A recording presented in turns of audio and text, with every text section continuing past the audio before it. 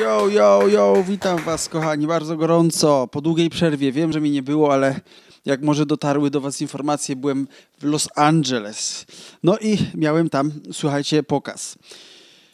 No cóż, pokaz skończył się, prawda, porażką.